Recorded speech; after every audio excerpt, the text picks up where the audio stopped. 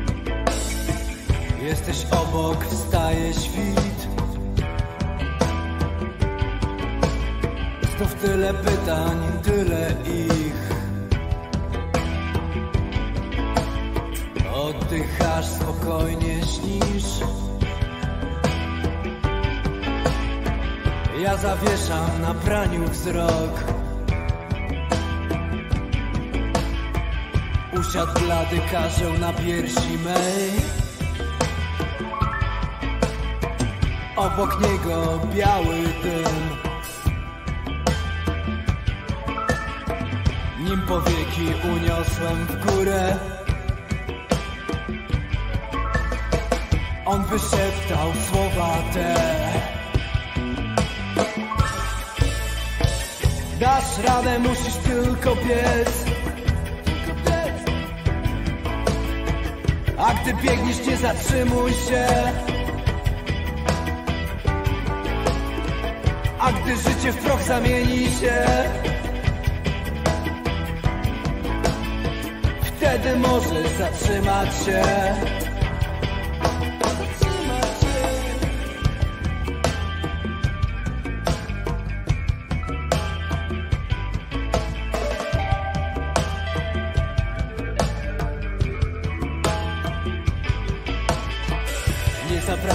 połowie drogi. Choć już dawno powinienem to zrobić. Każdego dnia marzenie zaklęte w snach. Pozwala przetrwać, pozwala trwać. Ilekroć wiem, że to traci sens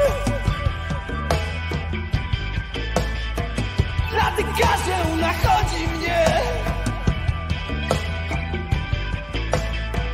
Nim powieki uniosę w górę. On już szepcze słowa te. Dasz radę, musisz tylko biec. A gdy biegniesz, nie zatrzymuj się gdy życie w proch zamieni się. Wtedy możesz zatrzymać się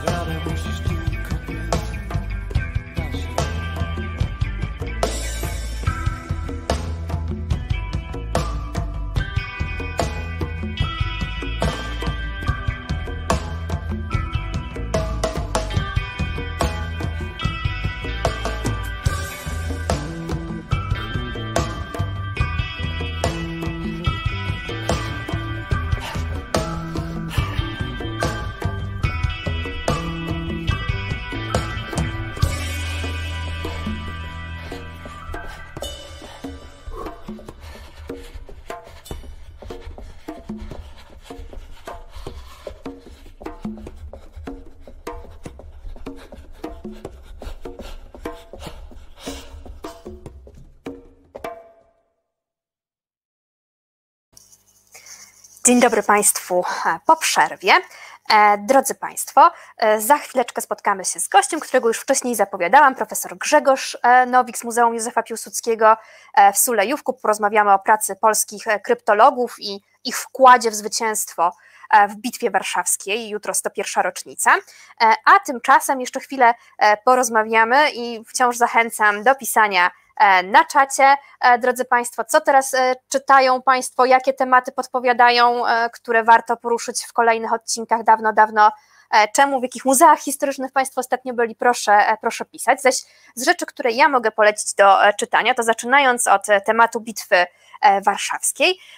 Przegrane zwycięstwo, wojna polsko-bolszewicka 1918-1920 to jest książka profesora Andrzeja Chwalby, wydana w zeszłym roku przez Czarne jeszcze raz tytuł Przegrane e, zwycięstwo.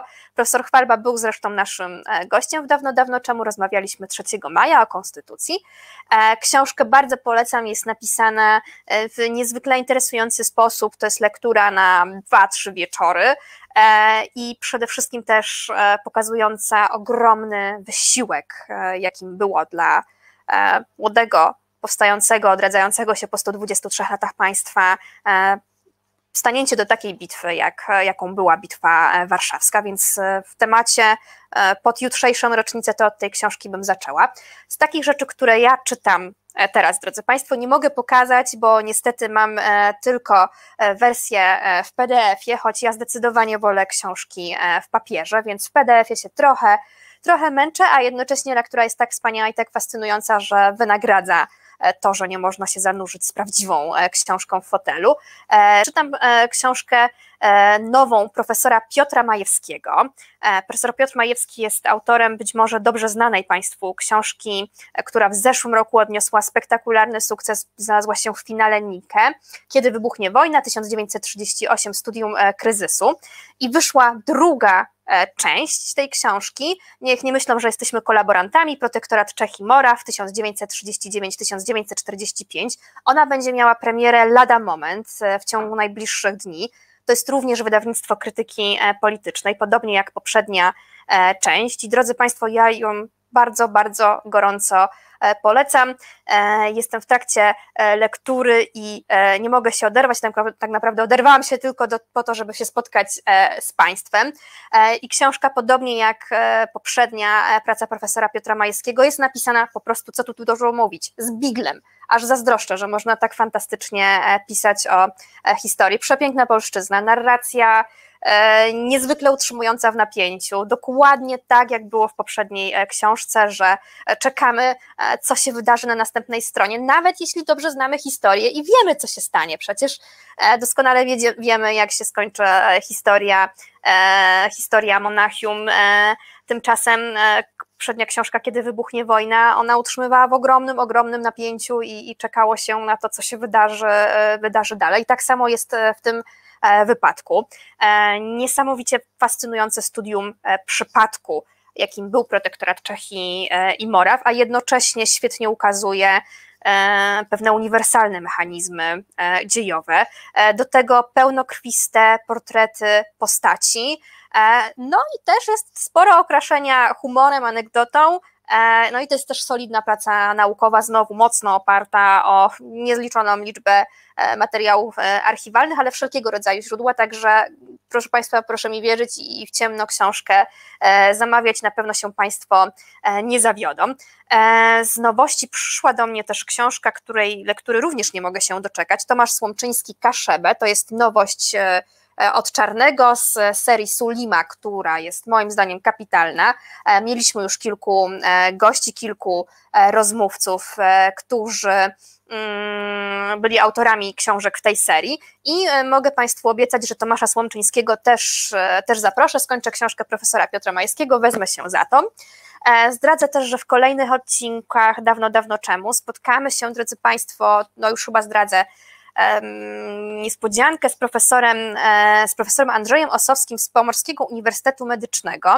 E, dlaczego z takiej uczelni? Otóż porozmawiamy o identyfikacji e, postaci historycznych, to znaczy jaką drogę pokonuje się od momentu, w którym archeolodzy znajdą szczątki, do identyfikacji danej, danej postaci. Myślę, że to będzie bardzo ciekawe, znając profesora Osowskiego, będzie miał dla Państwa naprawdę niezwykłą E, niezwykłe opowieści. E, to tak w skrócie, ale już wiem, że na wizji jest nasz e, gość, dlatego mm, co tutaj, ja już nie będę zagadywać Państwa, no bo zaprosimy, zaprosimy gościa. A nie, jeszcze nie ma. Zdradza mi realizator i to są właśnie uroki, drodzy Państwo, programu na żywo. Proszę jeszcze chwilkę o, o cierpliwość,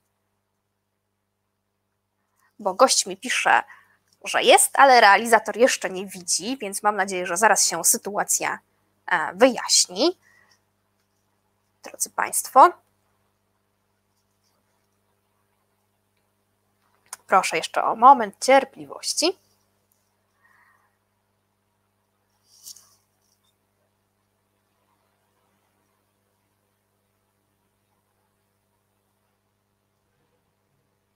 I jak zawsze też zachęcam, żeby kiedy pojawi się już nasz gość w czacie, zadawać, na czacie zadawać pytania.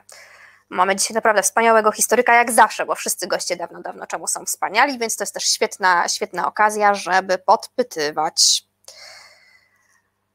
No, już czekamy.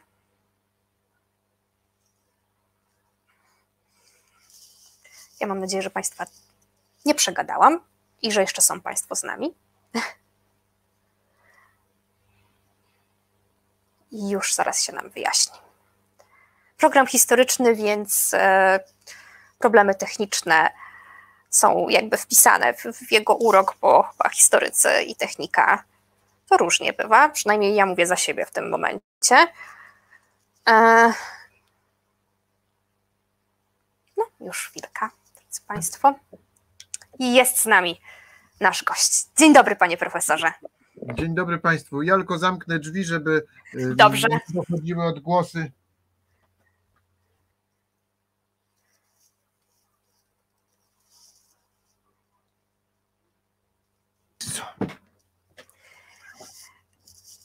Ja już pana profesora wcześniej zapowiadałam, więc jeszcze tylko przypomnę, profesor Grzegorz Nowik jest państwa i moim e, gościem. E, rozmawiamy w przededniu 101. rocznicy Bitwy e, Warszawskiej i dzisiejszy dzień pan profesor spędził w Muzeum Józefa Piłsudskiego w Sulejówku, prawda? Tak jest. Gdyby pan profesor powiedział, co się dzieje w tych dniach w muzeum, co można było zobaczyć dziś, co można zobaczyć jutro? Proszę Państwa, my obchodzimy rocznicę Bitwy Warszawskiej, no tak jak ona trwała, bo przecież to nie był jeden dzień, to było ponad miesiąc i nie pod Ossowem i Radzyminem, tylko to się wszystko działo na obszarze większym niż Belgia i Holandia oraz Księstwo Luksemburg, razem wzięte i pomnożone przez dwa między granicą pruską, linią Wisły od Torunia aż do Dęblina, potem wzdłuż Wieprza aż do Lubelszczyzny i potem od Chrubieszowa na północ wzdłuż Bugu potem wzdłuż Niemna aż do Grodna. Także to taki ogromny, ogromny trójkąt. I to jest dopiero obszar bitwy warszawskiej, a nie Ossów i Radzymin, jak no, potocznie się, tak już powiem, żeby nie powiedzieć inaczej, potocznie się e, sądzi. I myśmy i myśmy te obchody rozpoczęli 10 e, sierpnia taką debatą w Puławach pod prowokacyjnym tytułem, że cud nad Wisłą wydarzył się w Puławach, bo to, co najważniejsze, to się zdarzyło nie pod Radzyminem i nie pod Ossowem, tylko właśnie w Puławach, bo Radzymin i Ossów są symbolami bohaterskiej obrony Warszawy, a Puławy to jest e, siedziba sztabu kwatery głównej naczelnego wodza, który dowodził z Puław decydującą kontrofensywą, która od 16 sierpnia, czyli dopiero pojutrze, jakby powiedzieć, w poniedziałek się rozpocznie. No i ona w ciągu 10 dni, 8-10 dni dotarła mniej więcej do granicy pruskiej, przeorała cztery rosyjskie armie, rozbiła je w puch, że nie było po prostu już czego zbierać. I to jest dopiero zwycięstwo w Bitwie Warszawskiej. Natomiast no, pod Ossowem i Radzyminem strasznie ciężkie walki, no ale to jest tylko obrona, a nie zwycięska kontrofensywa. Także e, tak to, tak to mniej więcej się zaczęło i to można zobaczyć na YouTubie. Każdy z Państwa może sobie kliknąć w to i to jest, e, i to jest coś, co już. Następnie 12 sierpnia w naszym muzeum otworzyliśmy drugą, drugi element bardzo istotny portalu, który nosi nazwę Żołnierze Niepodległości. Cóż to jest takiego? Otóż postanowiliśmy w 2014 roku na setną rocznicę wybuchu I wojny światowej i wymarszu pierwszej kompanii na wojnę postawić pomnik ale nie taki pomnik, którym raz do roku, albo dwa, albo trzy razy do roku się złoży kwiaty i on będzie stał i nie każdy będzie wiedział o co chodzi, tylko taki pomnik, y, który będzie można oglądać codziennie. Wreszcie taki pomnik, który będzie w każdym miejscu świata dostępny, mianowicie tym pomnikiem będzie portal internetowy, na którym zamieściliśmy noty biograficzne i biogramy, życiorysy 56 tysięcy ludzi, którzy odważyli się w 1914 roku być wolnymi. To znaczy pójść do walki o niepodległość. No w tamtych warunkach, w tamtej sytuacji. To jest dopiero coś niesamowitego. To są ci, którzy pierwsi no, podnieśli sztandar niepodległości od czasów powstania styczniowego. A więc e, w 14 roku profesor Janusz Cisek razem z koleżanką Ewą Kozłowską i Łukaszem Wieczorkiem przygotowali taki portal jeszcze z bratem profesora Janusza Ciska i te 56 tysięcy legionistów no dalej wisi w internecie. I słuchajcie Państwo, z całego świata ludzie szukają swoich korzeni i znajdują. No, czterech braci matki Pendereckiego, nauczyciel Jana Pawła II, ojciec Andrzeja Wajdy, no mogę rzucać tutaj hasła, nazwiska, no, ludzi, którzy no, są wpisani w tradycję i kulturę polską i oni byli wśród tych, którzy odważyli się być wolnymi. Ale 12, czyli właśnie te e, dwa dni temu, otworzyliśmy nową odsłonę tego portalu. To jest 24 tysiące not biograficznych oficerów Wojska Polskiego. Taka wielka mozaika, taki, no można powiedzieć, do pewnego stopnia patchwork, oficerów Wojska Polskiego, którzy brali udział w wojnach o niepodległość i granice od 1918 do 1921 roku i w 1921 roku, a więc 100 lat temu, zostali zweryfikowani jako oficerowie Wojska Polskiego.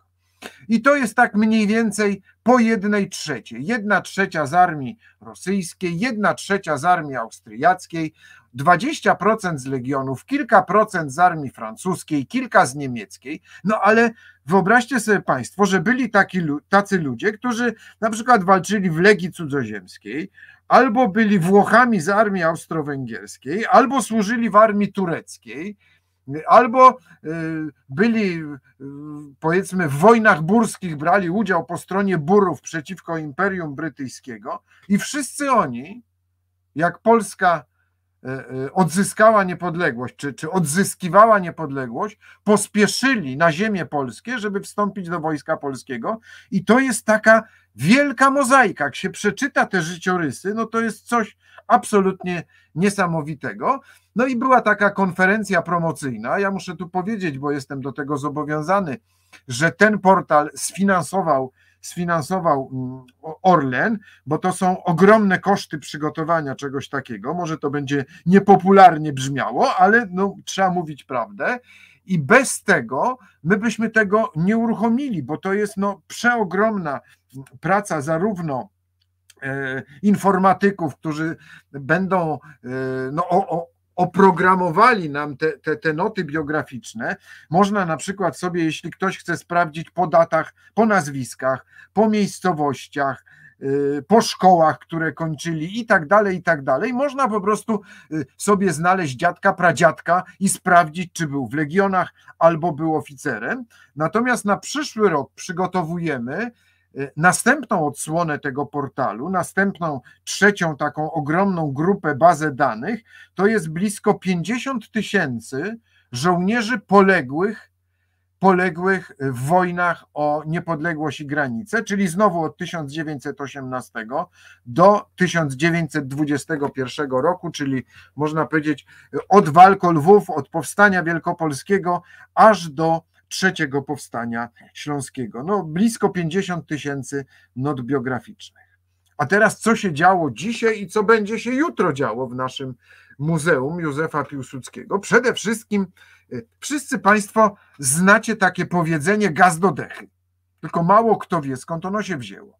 I można u nas zobaczyć najstarszy samochód pancerny Wojska Polskiego, zrekonstruowany z oryginalnych części, ponieważ inżynier tański z Fordów T amerykańskich, które dotarły do Polski z armią generała Hallera, Wykorzystując niemieckie płyty takie pancerne, okopowe do obserwacji i do strzelania, stawiało się na okopie taką płytę i przez taki wziernik powiedzmy otwierany jak taką, jak Judasz taki w drzwiach, jak takie, taki otwór Y, można było tam i obserwować i, i, strzelać. Inżynier Tański, wykorzystując te pozostałe po Niemcach płyty pancerne i te amerykańskie Fordy, y, skonstruował samochody pancerne, które brały udział w walkach y, z kawalerią Gaja Brzyszkiana, zwanego Gajhanem, oraz z armią konną Budionnego. No w ten sposób, że zbudował na nich taki szkielet, i te, do tego szkieletu były przy, przymocowane te pancerne płyty okopowe. I taki samochód można u nas zobaczyć. I jak się go zobaczy w muzeum i go dokładnie obejrzy, to wtedy będzie wiadomo, dlaczego mamy powiedzenie gaz do dechy.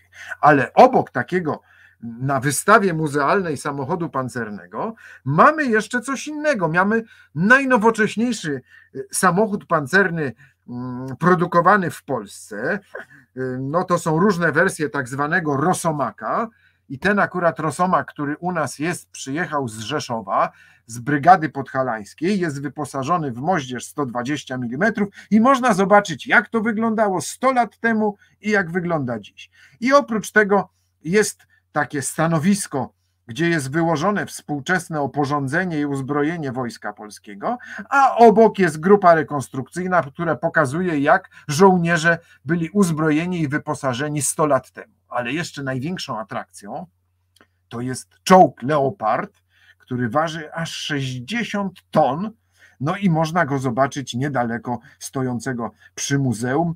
No niestety ze względów covidowych nie można wchodzić do środka, ale na górę jak kto sprawny, mm, młody człowiek, młody mężczyzna, młoda panna mogą się tam na niego wdrapać, porozmawiać z tymi czołgistami, z załogami i zobaczyć w jaki sposób to są czołgi z brygady pancernej obok po sąsiedzku z Wesołej, zobaczyć jak to, jak to wygląda. Ale jutro jest jeszcze jedna atrakcja, mianowicie o 16 jutro śpiewamy piosenki żołnierskie, będzie taka specjalna kapela warszawska, nazywa się Ferajna z Hoovera, no i będzie śpiewała piosenki żołnierskie, a my razem a my razem z nią y, na placu y, przy muzeum o godzinie 16. Serdecznie zapraszamy na świeżym powietrzu bez maseczek.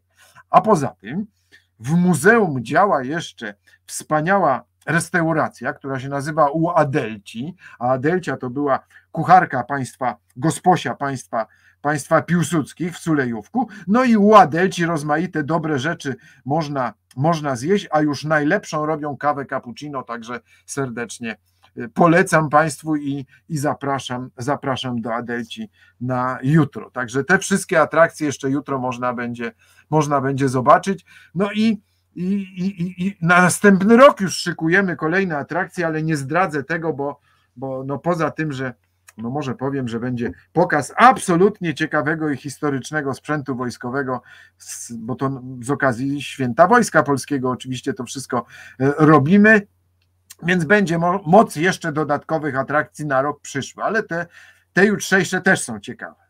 No chyba za Także... dużo nawet już gadałem.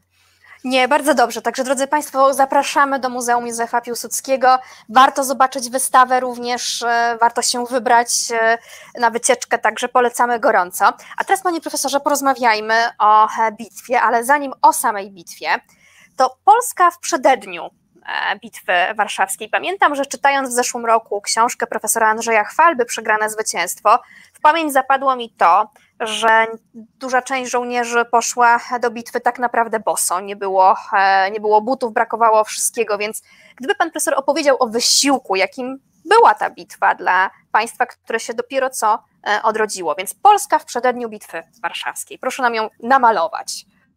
Proszę państwa, przede wszystkim musimy sobie uzmysłowić, że niepodległości nikt nam nie podarował w prezencie. To można powiedzieć, że od konferencji wersalskiej myśmy dostali tylko Pomorze Gdańskie, tylko, bez Gdańska. Natomiast wszystkie inne, wszystkie inne ziemie Rzeczypospolitej zostały wywalczone. Ja, ktoś mówi, jeśli ktoś mówi, że myśmy mieli jedno zwycięskie powstanie, to jest w straszliwym błędzie, bo wszystko to, co się działo w Polsce od października, od pierwszej Republiki Podhalańskiej, której prezydentem był Stefan Żeromski, a później od Księstwa Cieszyńskiego, Galicji, przez południową kongresówkę, północną część kongresówki, Wielkopolskę, Kresy. Myśmy mieli zwycięskie powstanie sejneńskie i stanisławowskie. Kto o tym wie? To to wszystko, co się dzieje od jesieni, od października 1918 roku, to jest jedno wielkie powstanie. Ja pracuję w tej chwili nad dokumentami, to znaczy teraz, w tej chwili. Ja pracuję od 30 lat w zespole, który zajmuje się badaniem e, dokumentów polskich do wojny Polski z bolszewicką Rosją.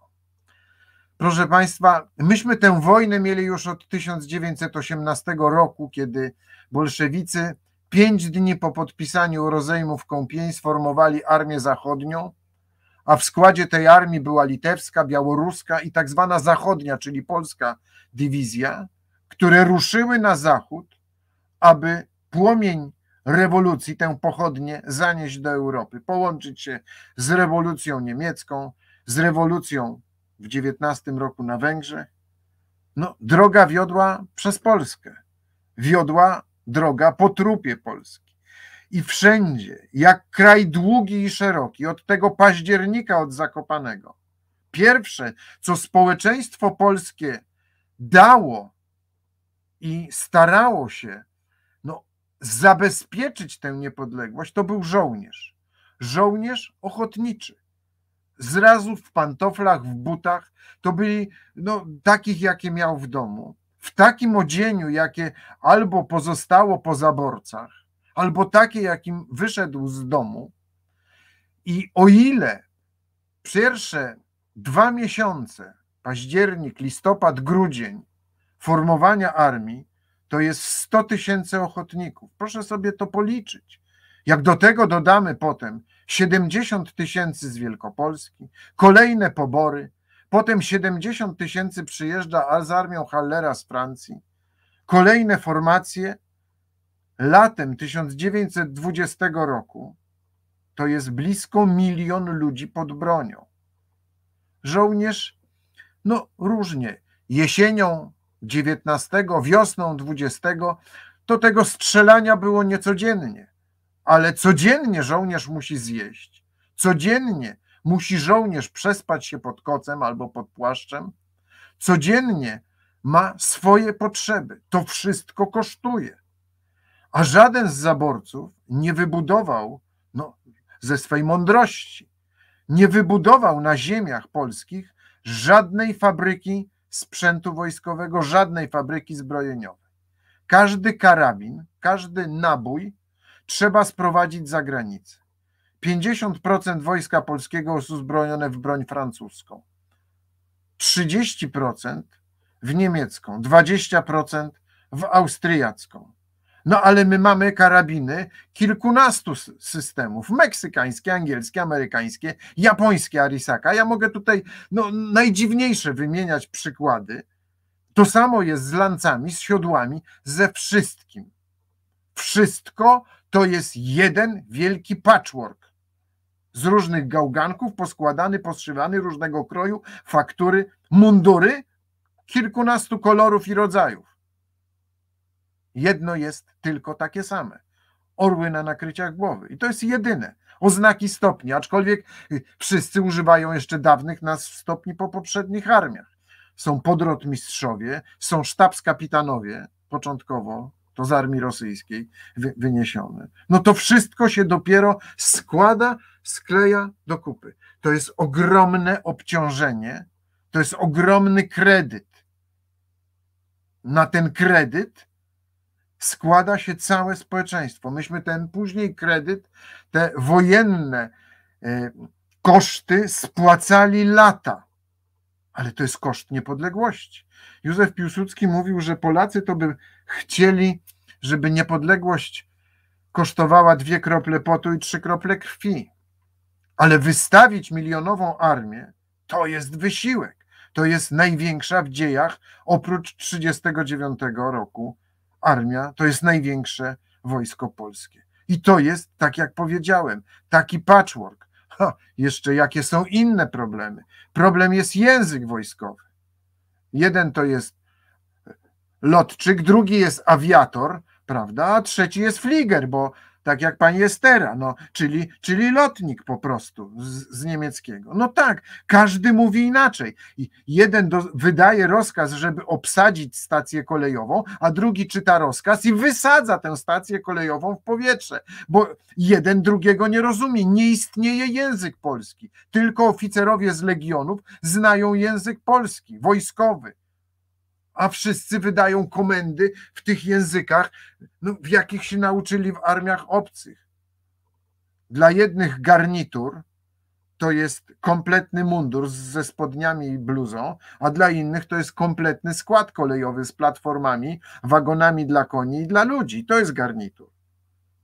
Nie bardzo się wszyscy rozumieją cała ta armia, no y, tak to próbował sklejać marszałek Piłsudski, wódz naczelny, że sztabowcy to są tylko albo w większości z armii austriackiej, bo tam Polaków dopuszczano do wyższych szkół wojskowych i do no, praktyki sztabowej.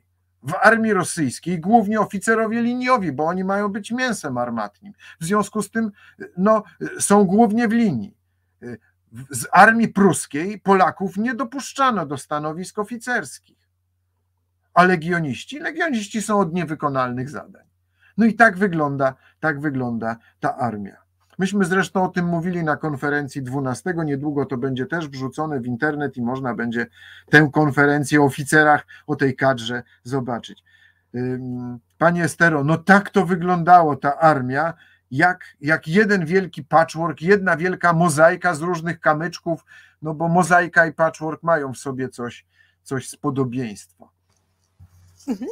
A porozmawiajmy o atmosferze, panie profesorze, w przededniu e, Bitwy Warszawskiej, atmosferze w społeczeństwie polskim, bo e, powiedział pan profesor o tym, że sporo ochotników wzięło udział w wojnie. E, więc e, jaka była atmosfera społeczna, e, ale też chciałabym się dowiedzieć czegoś o udziale pisarzy, pisarek w motywowaniu społeczeństwa. Proszę. Dobrze. Zacznijmy od tego, że Józef Piłsudski wykorzystał czy skorzystał z doświadczenia z powstania listopadowego. U mnie komary latają i dlatego próbuję tutaj przegonić przynajmniej żeby nie brzęczały. Skorzystał z doświadczenia niezwykle istotnego. On nie czekał, tak jak generał Chłopicki, aż oni tu podejdą pod Olszynkę Grochowską, tylko poszedł na wschód. Poszedł na wschód, żeby, jak sam napisał potem, jak najdalej od miejsc, gdzie się życie polskie wykuwało i wykluwało, w te wiośniane dni jesienią 18 roku, no prawie cytuję te słowa, odepchnąć wszelkie próby narzucenia życia obcego nam raz jeszcze. Odepchnąć. I to, co zrobił i robił od początku no, swojego sprawowania urzędu wodza naczelnego, to jest odepchnięcie jak najdalej wschód, na wschód Armii Czerwonej. Tylko, że to miało ogromnie doniosłe konsekwencje, pozytywne, bo dzięki temu był, był w kraju, wewnątrz kraju spokój i pokój i możliwość tworzenia rozmaitych instytucji, odbudowy domów. Przecież Polska była zdruzgotana po wojnie światowej. Tu się przewalały fronty i można powiedzieć, że no, co prawda Warszawa nie była zburzona tak jak przez, przez Niemców w powstaniu, ale tysiące kilometrów kwadratowych było spustoszone. Front, który stał nad Rawką i Bzurą, to po prostu zniszczył to. Front, który stał pod Gorlicami na Podkarpaciu, zniszczył tamte tereny. Fronty, które stały na Kresach, wyludniły tysiące kilometrów kwadratowych. To były dramatyczne zniszczenia. Dramatyczne. Czasami gorsze niż Warszawa w II wojnie światowej. Musimy to sobie uświadomić. I to pozwoliło, ten rok dziewiętnasty dał szansę na budowę administracji, struktur państwowych, no był niezwykle potrzebny, odbudowę dróg, linii kolejowych, urzędów. Proszę Państwa, z państwowych lasów szło drewno na, na budowę budynków, no jedynych, jakie można było szybko w ciągu jednego sezonu budowlanego, czyli drewnianych postawić. Ale stawiano je. No coś niesamowitego, przeogromna sprawa. Państwo znacie nasze kłopoty, na przykład z Puszczą Białowieską obecne. To, że cała otulina jej została obsadzona świerkiem.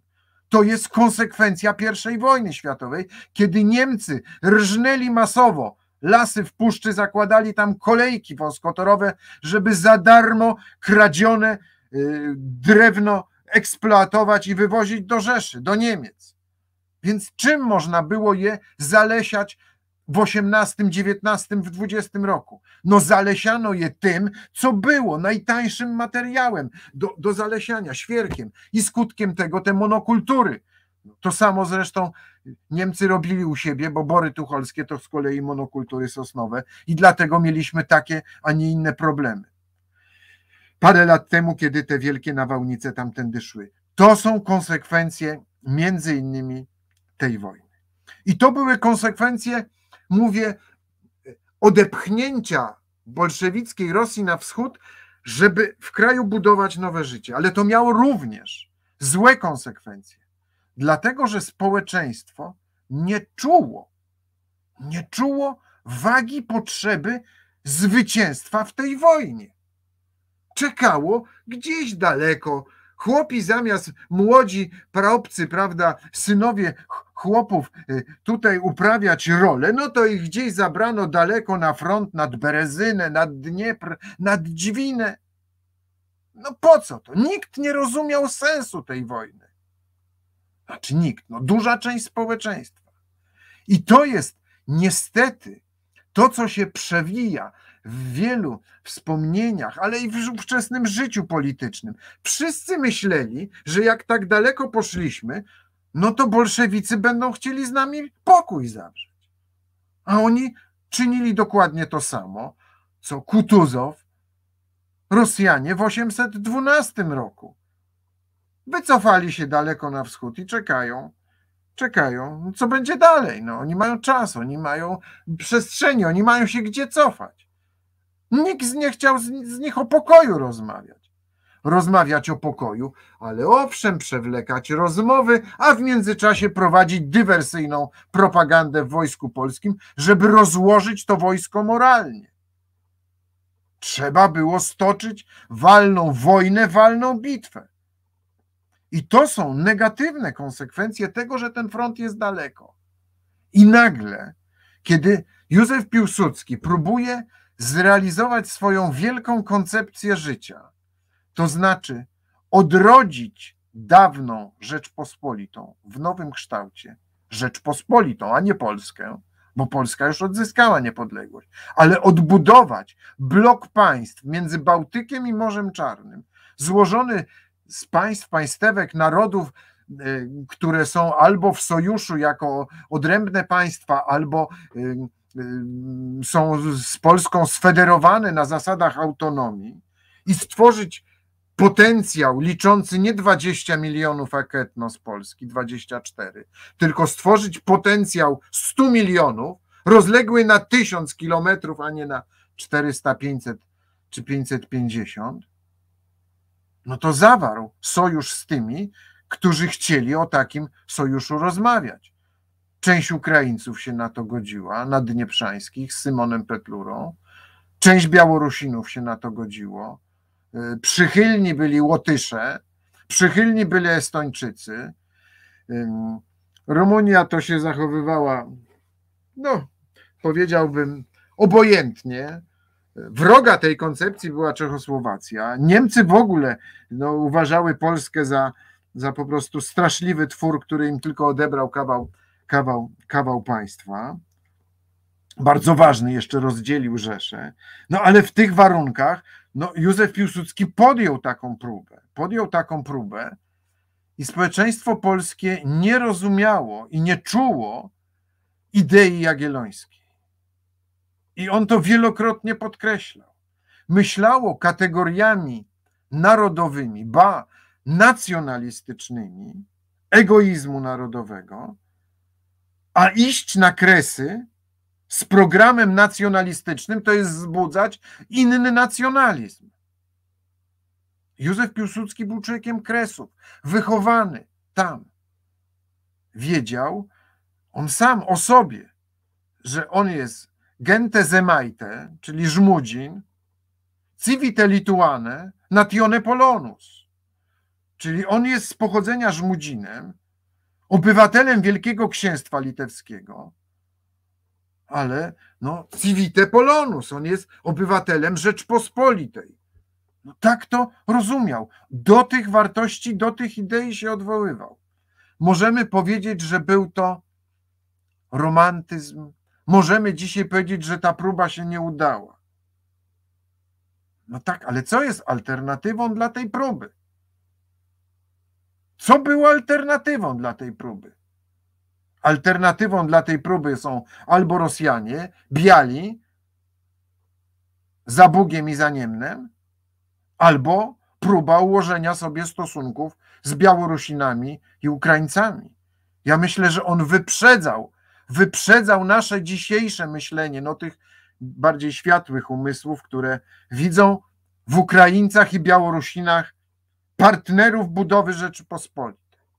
Przecież w jego otoczeniu, jak się Państwo może oglądali ten film Piłsudski, to tam jak tworzę organizację bojową PPS, to mówią, że to mafia litewsko-białoruska. Na to się odzywa Aleksander Sulkiewicz, Mirza Hodzman, który mówi litewsko-białorusko-tatarska. No i jeszcze na dodatek grupa spolonizowanych starozakonnych, którzy też się czują obywatelami tej wielkiej Rzeczpospolitej i chcą w niej zajmować równe miejsce. Tu jest miejsce dla wszystkich.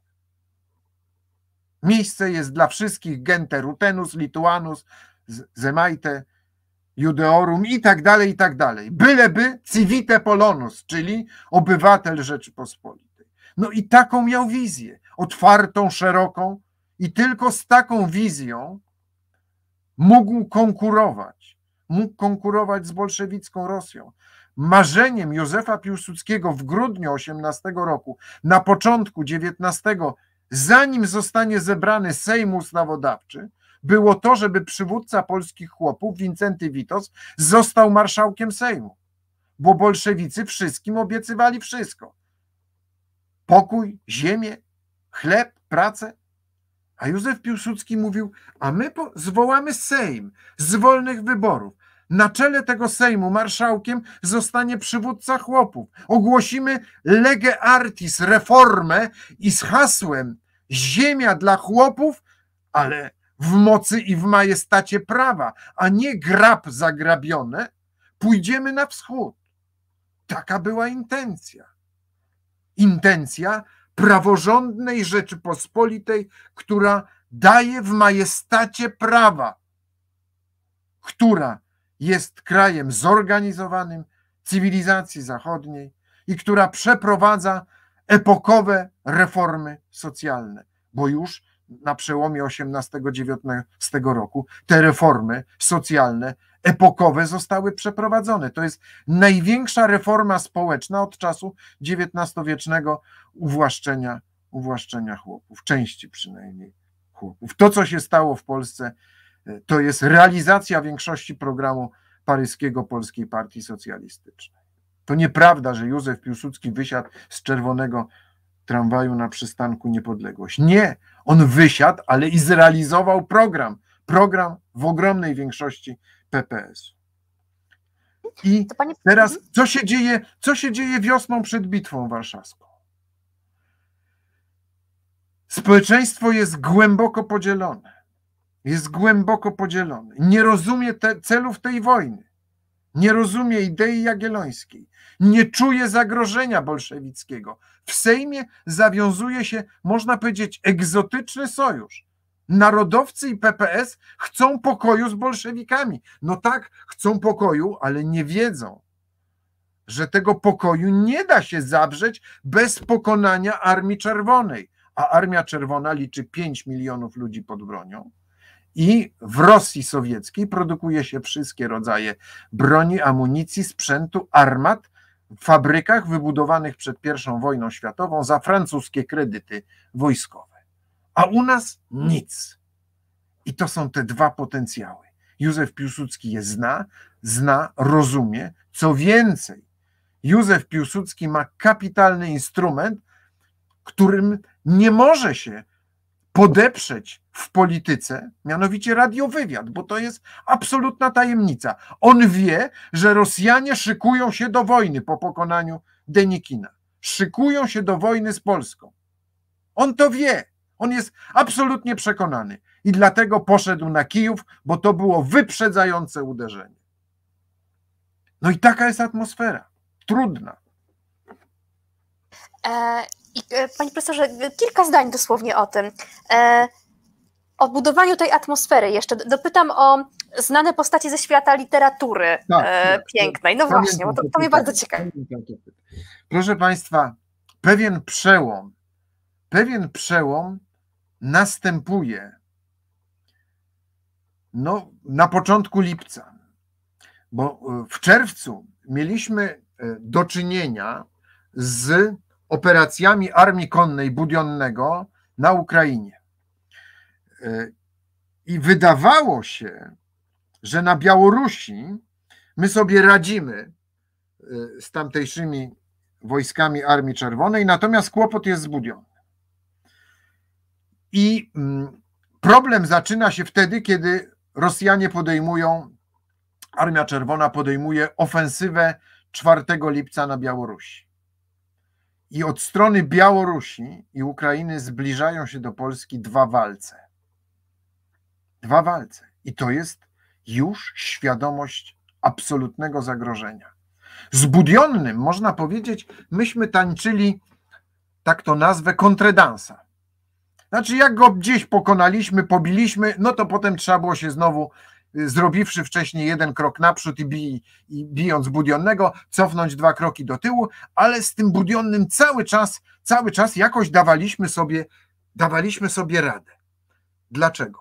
Dlatego, że pozostałe armie mm, sowieckie, bolszewickie na Ukrainie były tak przetrzepane w kwietniu i maju w czasie tej naszej operacji na Kijów, że one służyły tylko do pokonywania drogi. Zresztą jeden z rosyjskich historyków tak napisał, że e, e, wojska na Ukrainie sowieckie nie mogły marzyć o pokonaniu przeciwnika, mówi tutaj o Polakach, ponieważ miały problem z pokonaniem drogi.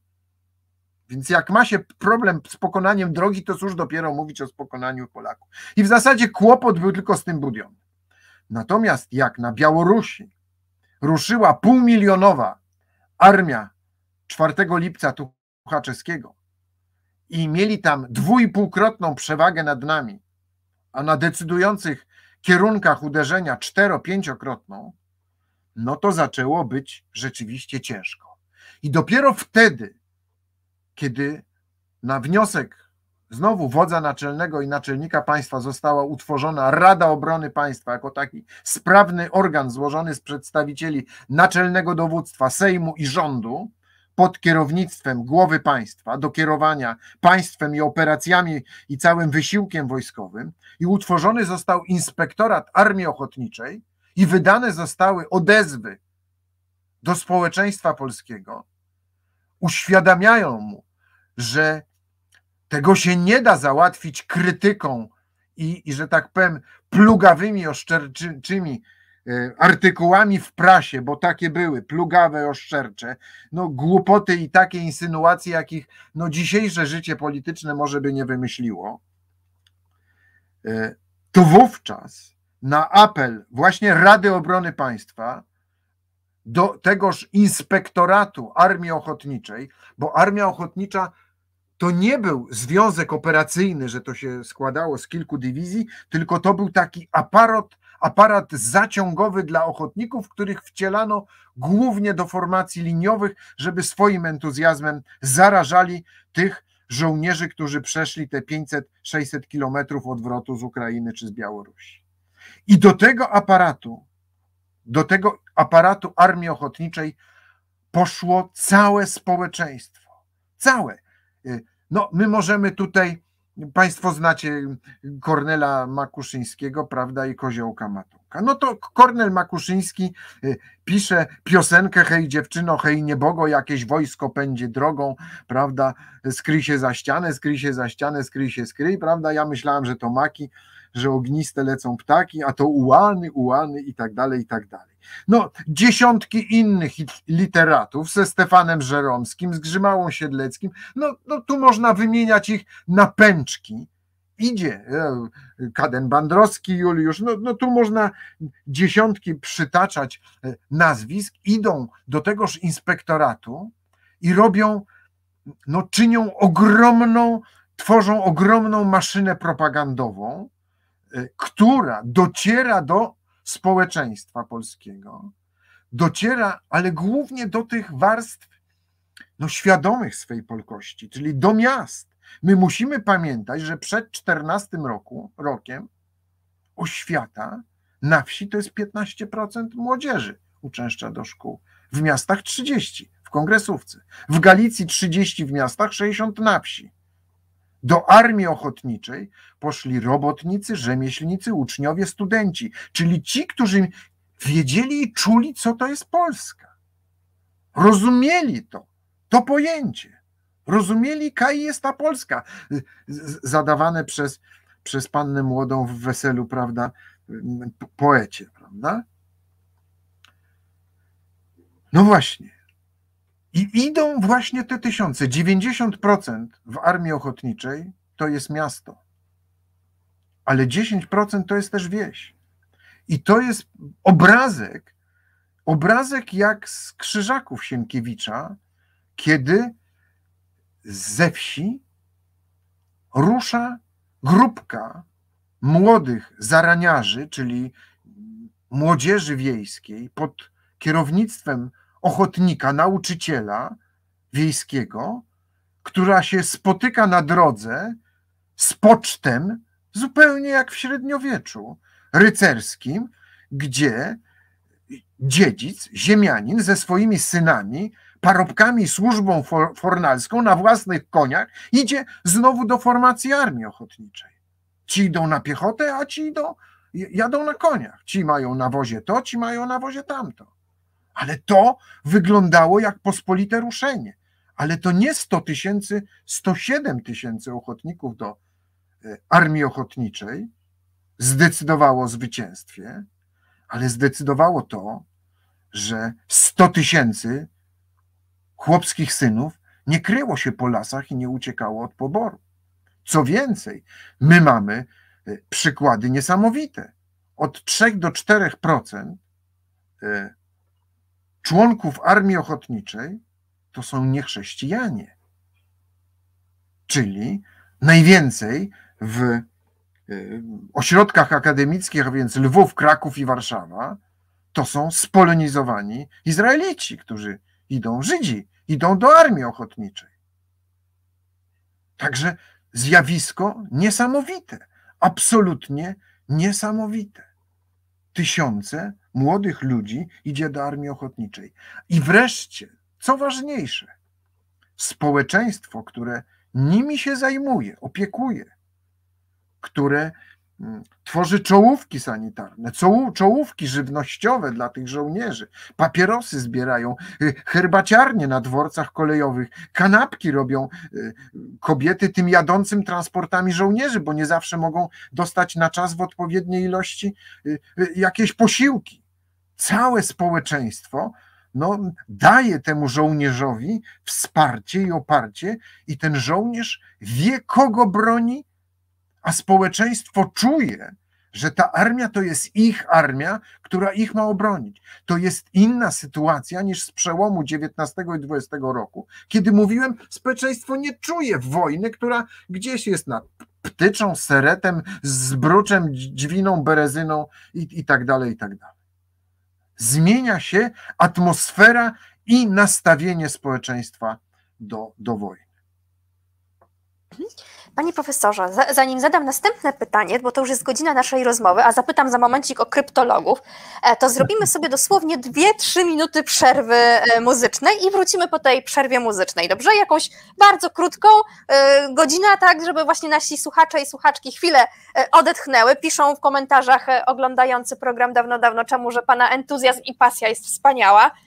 To prawda, to jest zawsze przyjemność z panem profesorem rozmawiać, więc zrobimy dosłownie 2-3 minuty krótkiej przerwy muzycznej i widzimy się za e, moment, żeby zapytać o, myślę, że konika pana profesora. tak, także Dobrze. za chwilę się zobaczymy. Dwie, trzy ja minuty, pójdę, drodzy Państwo. Idę po pomoce naukowe, żeby pokazać. Świetnie. Do zobaczenia po przerwie, drodzy Państwo.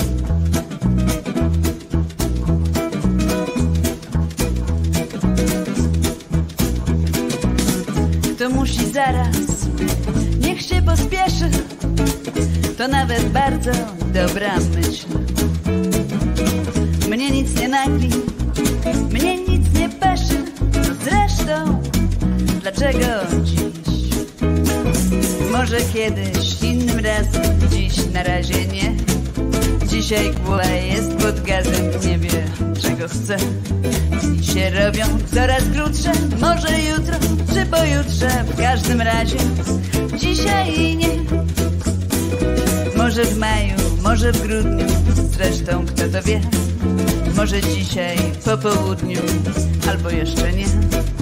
Ja pod gazem, ty pod gazem, może kiedyś innym razem, w każdym razie dzisiaj nie. Podatek jeden, podatek drugi, pożyczka owszem, dobra myśl. Rachunek weksel, w ogóle długi, no dobrze, ale dlaczego dziś? Może kiedyś, innym razem, dziś na razie nie. Dzisiaj głowa jest pod gazem, nie wie czego chce. Dni się robią coraz krótsze, może jutro czy pojutrze, w każdym razie dzisiaj nie.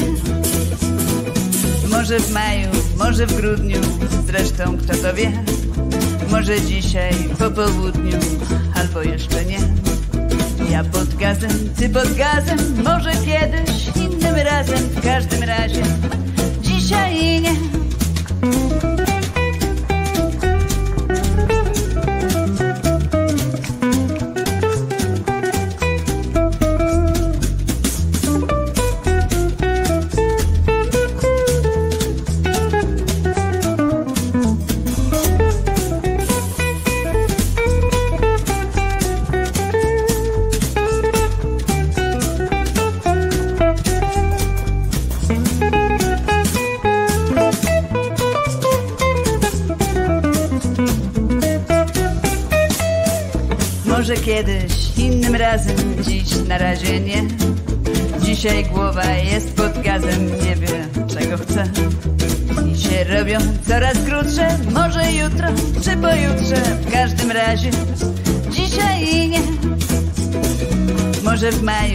Może w grudniu, zresztą kto to wie. Może dzisiaj po południu, albo jeszcze nie. Ja pod gazem, ty pod gazem, może kiedyś innym razem,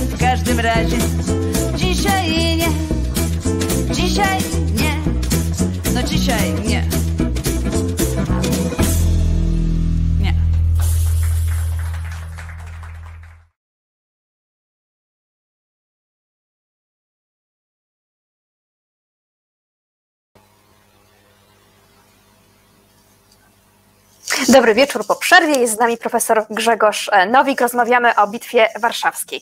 Panie profesorze, czy to był sukces? I pytam o tych, których nie widać, a więc których nie byli na pierwszym planie, czyli o kryptologów. Gdyby pan profesor opowiedział nam tę historię, którą zresztą odkrył.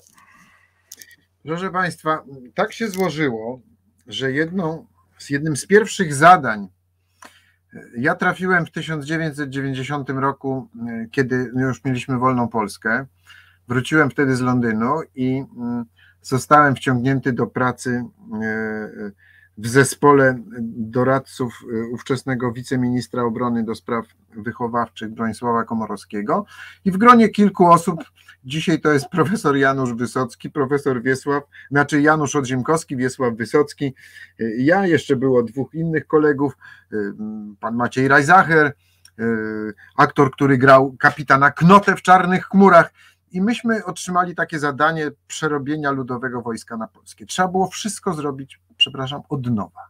Nowa przysięga wojskowa, którą pisaliśmy y, przy udziale profesora Miotka, nowa ustawa o świętach wojskowych, y, nowe tablice na grobie nieznanego żołnierza, nowe zasady dziedziczenia tradycji, nowa symbolika wojskowa.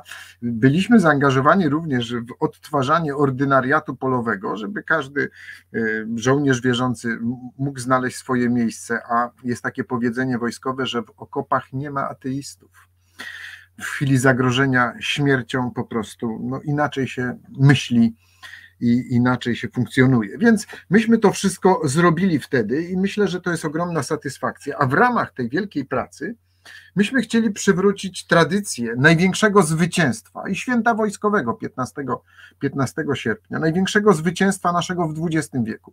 Uznaliśmy, że koniec z obchodzeniem rocznic klęsk żałobnych, jak nam ktoś dawał po krzyżu albo w inną część ciała, której nie wymienię. I chcieliśmy wrócić do tradycji tego największego zwycięstwa, dzięki któremu istniejemy w XX wieku, a więc Bitwy Warszawskiej. Wielkiego zwycięstwa, które dało nam siłę i pozwoliło wstać z kolan. Wtedy wstać kolan, żeby nie było jakiejś polityki, proszę Państwa. I wtedy został stworzony zespół pod kierunkiem pana doktora pułkownika Marka Tarczyńskiego, redaktora ówczesnego przeglądu historyczno-wojskowego, i myśmy podjęli rzecz niesamowitą. Od 1920 roku Rosja bolszewicka, sowiecka, a potem Rosja jelcynowska czy tam putinowska, kolejne, wydawały tomy dokumentów dotyczące wojny 20 roku. I taki słynny historyk, który się nazywa Norman Davis, jak napisał taką książkę dosyć ciekawą, dobrze napisaną, bardzo się to fajnie czyta. Orzeł biały i czerwona gwiazda. Książka napisana w roku 70, ale głównie na podstawie źródeł rosyjskich, bo tylko takie dostępne.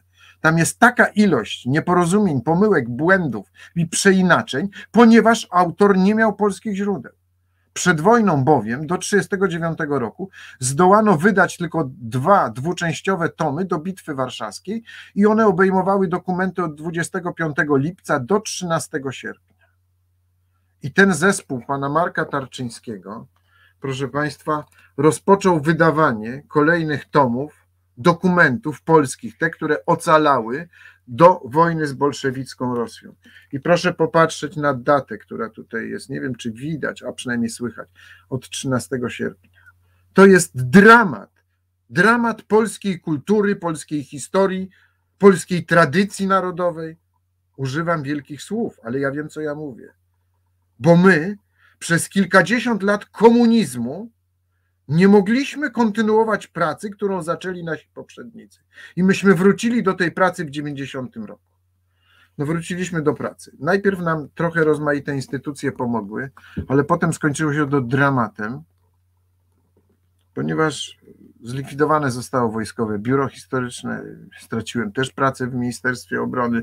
Państwo wiecie, nowa miotła, nowe porządki, nowe zamiatanie i dopiero kilka lat temu uzyskaliśmy grant badawczy na dokończenie tej serii. Myśmy wydali 13 takich ogromnych tomiszczy, 13 takich ogromnych, niektóre liczą półtora tysiąca stron. I jesteśmy na półmetku badania tych dokumentów. I w trakcie poszukiwań w archiwach krajowych i zagranicznych, no przypadkiem natrafiłem na w 2002 roku na worek, który przyjechał z Ministerstwa Spraw Wewnętrznych, jeszcze był nierozpakowany. Worek, który nam Rosjanie oddali naszych archiwów w 1971 roku i on był w archiwum MSW i został przekazany do archiwum wojskowego ileś lat później. I w tym worku były dokumenty polskiego radiowywiadu. Cóż to jest radiowywiad?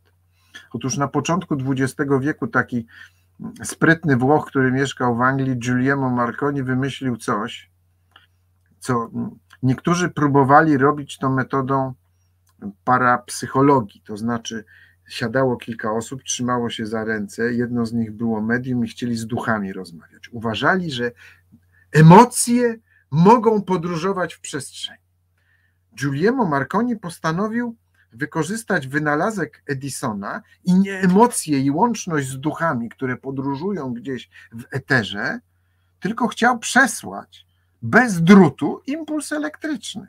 No jak to? Impuls elektryczny bez, bez drutu wariat. Nazywano to początkowo TBD, telegraf bez drutu, bo Editon na drucie, a on bez drutu. No i długo tak, że tak powiem, eksperymentował, eksperymentował, eksperymentował, aż stworzył system radiotelegrafii. To był kapitalny wynalazek. Proszę Państwa, dzisiaj każdy ma, ma taki aparat w kieszeni właśnie. No to jest mała radiostacja, co więcej, jeszcze telewizja, prawda? A ówczesna radiotelegrafia to oczywiście była nie radiofonia, nie mówiło się, tylko trzeba było przełożyć to wszystko na, na kreski i kropki alfabetu Morsa. Kreska to był dłuższy trzask w eterze, jakieś buczenie, yy, dźwięk, a krótszy dźwięk to, to była po prostu kropka. No i alfabetem Morsa, jeśli ktoś kiedyś się uczył w harcerstwie alfabetu Morsa albo jakiś inny zamiłowania radiotelegrafista, amator, to to, to była kapitalna łączność. No przecież pierwsze sygnały o tonącym Titaniku właśnie przez radiotelegraf nadane SOS, ratujcie e, nasze, nasze dusze, prawda, po angielsku. E, to tak brzmiało. I to miało niebywałe znaczenie dla wojska. Dlaczego?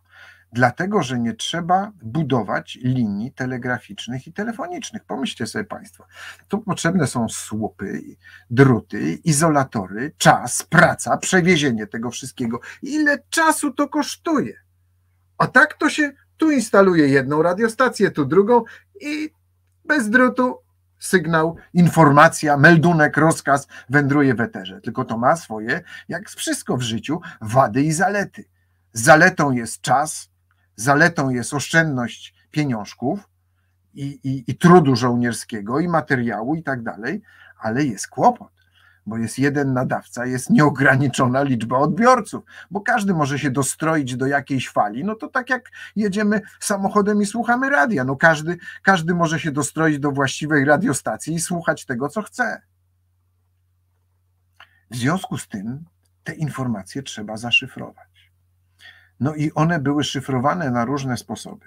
Jeśli Państwo teraz słyszycie, że ktoś jakiś wywiad podsłuchał, podglądał kogoś gdzieś, to, to tak wszyscy robią od stu lat. To się dzieje permanentnie i bez ustanku.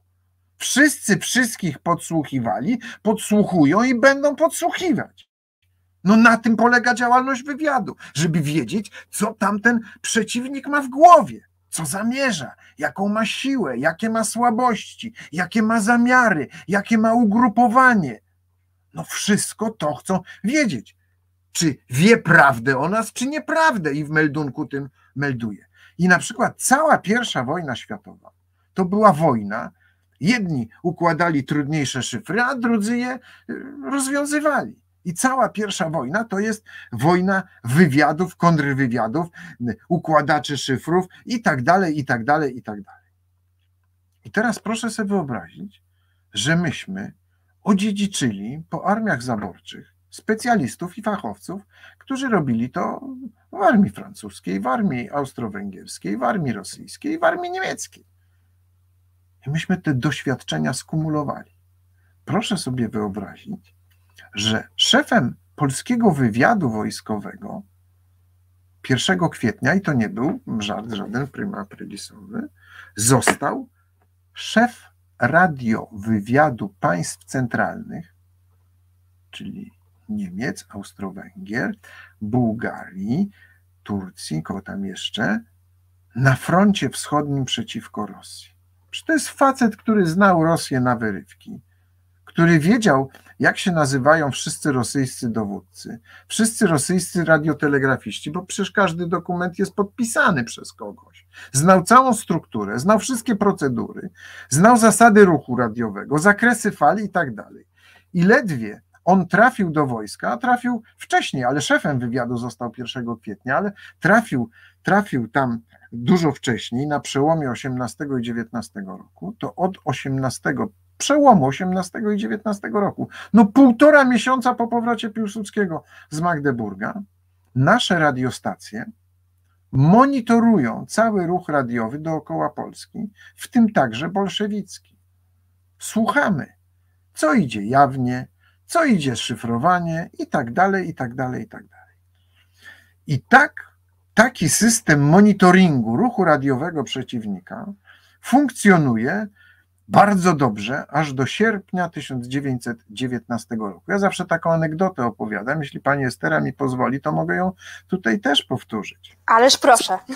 Co, co się stało, co, co leżało u przyczyn no, powstania polskiego radiowywiadu? No, przed chwilą wymieniłem, że było to w sierpniu 1919 roku. No bo sierpień to jest miesiąc z literką R, a w polskiej tradycji, w polskiej kulturze i obyczaju może ta, takim panuje zasada, że ślub najlepiej brać w miesiącu z literką R.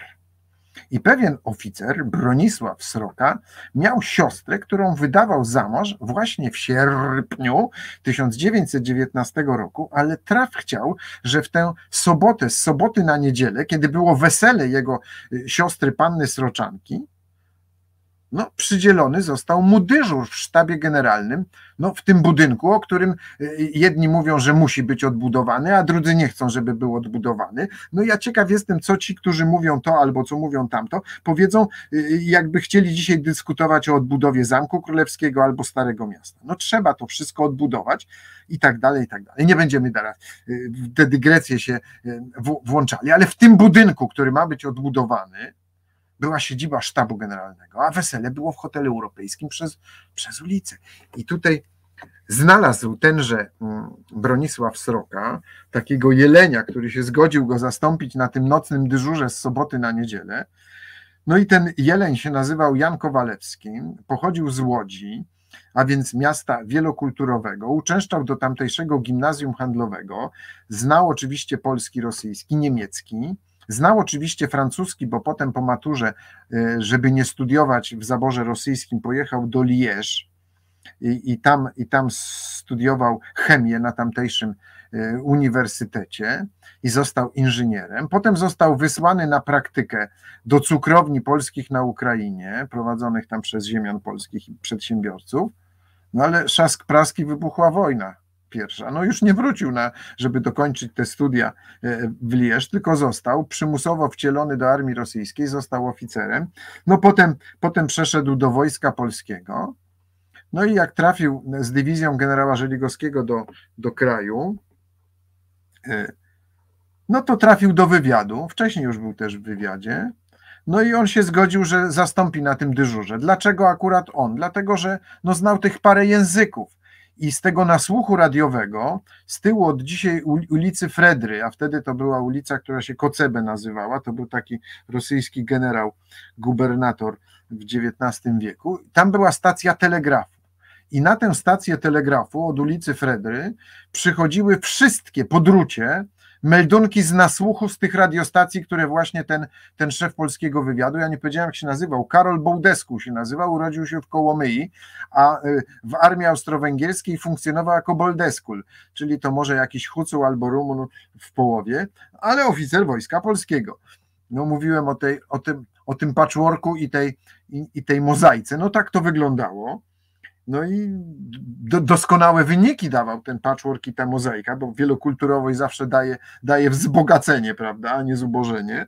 No i, i, i Jan Kowalewski w nocy siedział i, i najpierw przetłumaczył wszystkie z języka rosyjskiego, potem z niemieckiego, potem z lingua franca, prawda, czyli dyplomatyczne, rozmaite weterze przesłuchane ten, no ale jak już wszystkie przetłumaczył, powkładał do odpowiednich teczek dla szefa sztabu generalnego, żeby on przeczytał sobie taką prasówkę z nasłuchu radiowego na rano, no to zostały mu te szyfrowane.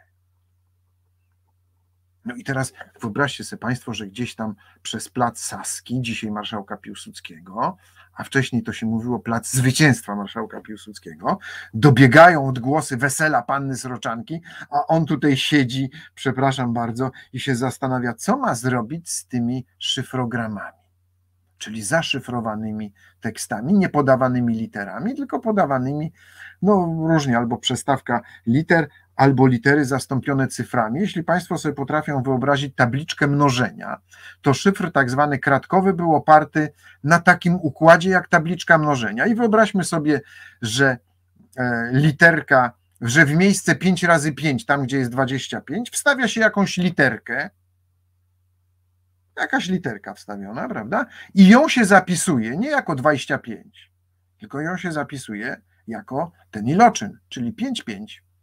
I w szyfrogramie ta litera jest zastąpiona literą 5,5. I teraz on tak sobie kombinuje, no jaki klucz znaleźć do złamania tego, tego szyfrogramu, kiedy litery są zastąpione takimi dwoma cyferkami, które są wstawione w tabliczkę mnożenia. Pamiętajcie Państwo, że, że tam kombinacji jest mnóstwo, bo w tabliczce mnożenia jest 100 pól, a liter jest dwadzieścia kilka w alfabecie. No w rosyjskim trochę więcej ówczesnym. No i w tym momencie dalej słyszymy tę muzykę, prawda? Wesela panny Sroczanki. To jest ten pierwszy warunek. Przypomniały mu się lektury z dzieciństwa. Otóż czytał takie opowiadanie Edgara Alana Poe Złoty Żuk. Ja to sobie specjalnie kupiłem, jak przeczytałem wspomnienia Kowalewskiego. No i przeczytałem tego Złotego Żuka, bo Conan Doyle'a, prawda, o Sherlocku Holmesie to czytałem, ale Złotego Żuka nie. No i w tym Złotym Żuku w tym Złotym Żuku to jest historia, polecam wszystkim panom, paniom też może, taka historia odnalezienia skarbu piratów, a najpierw zaczyna się to od tego, że przyjaciel odwiedza przyjaciela na Karaibach i znajduje na plaży kawałeczek materiału. Okazuje się, że to nie materiał, tylko kawałek skórki, bardzo dobrze wyprawionej, safianowej, koziej. I woda morska ujawniła na niej atrament sympatyczny, a w tym sympatycznym matrymentem zapisany jest szyfrogram. I cała historia tego opowiadania to jest, jak złamany został ten klucz szyfrowy, znaczy klucz do tego szyfrogramu, jak odnaleziono piracki skarb. Jan Kowalewski, no to jest ten drugi warunek, prawda, po weselu panny Sroczanki, jakie znaleźć tutaj słowo. No i Jan Kowalewski tak sobie siedzi, myśli, myśli, myśli i myśli sobie, no najlepiej to by było takie słowo, które byłoby regularne, miało regularną liczbę sylab, regularną liczbę liter w sylabach i gdyby druga litera w sylabie była taka sama, bo wtedy jest powtarzalność. I proszę sobie wyobrazić, no tam wesele panny Sroczanki, państwo sobie wyobrażają tę muzykę i wpada mu na myśl słowo wesele. Proszę zobaczyć, trzy sylaby W, SE, a potem LE.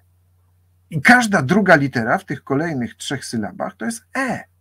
Czyli jeżeli powiedzmy literka E została zapisana jako 5-5, prawda, na przykład, to szukać trzeba takiego miejsca w tym szyfrogramie, gdzie będzie jakaś dwie cyfry, potem 5-5, znowu jakieś dwie cyfry, potem znowu 5-5 i potem znowu jakieś.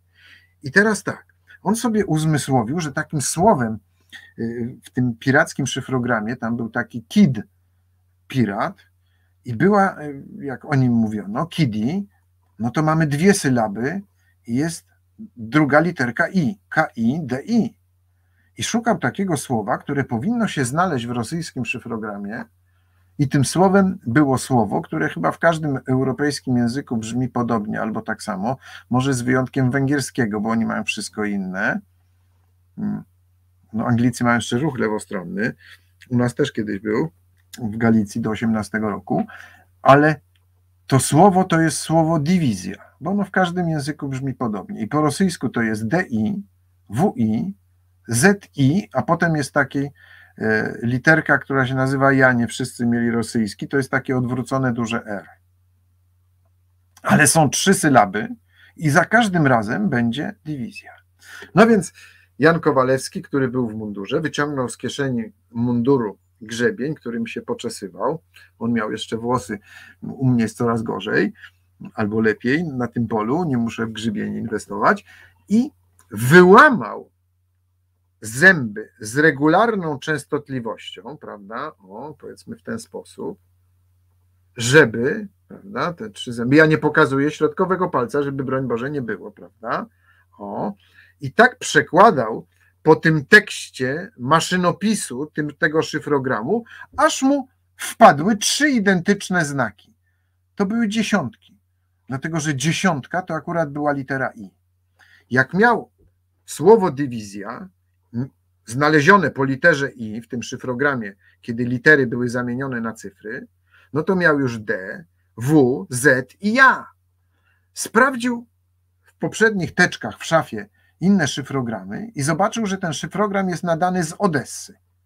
A po rosyjsku Odessa, tak samo po polsku, pisze się przez dwajnoje S, czyli podwójne S. Po ukraińsku pisze się przez jedno S. D miał ze słowa dywizja, więc mógł sprawdzić, prawda? Tak jak w krzyżówkach, no bo co robią wartownicy w nocy, jak im się nudzi, prawda? Krzyżówki rozwiązują dzisiaj, prawda, na, na parkingu przed Oszą czy, czy, czy, czy, czy gdzieś tam indziej, prawda? No więc miał już kolejne litery. Sprawdził również, że rosyjski ten szyfrant popełnił straszny błąd, którego nie wolno było robić. Nie wolno było szyfrować nagłówków i podpisów dlatego że one są zawsze takie same. Treść jest inna dokumentów, a jeżeli zaszyfrujemy nowym szyfrem nagłówek, to po nagłówku i po podpisie możemy odczytać. To jest po prostu klasyczny klucz szyfrowy. Nie wolno tego robić. Albo pseudonimem, kryptonimem podpisujemy, prawda, ale nie szyfrujemy go. Nie szyfrujemy.